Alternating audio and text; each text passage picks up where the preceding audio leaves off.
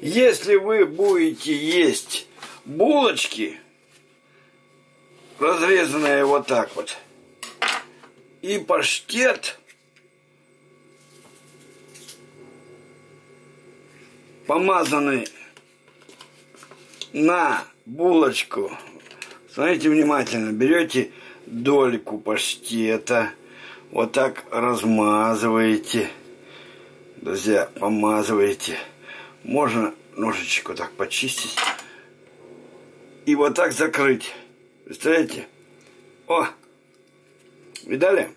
Какой прекрасный паштет из говяжьей печени.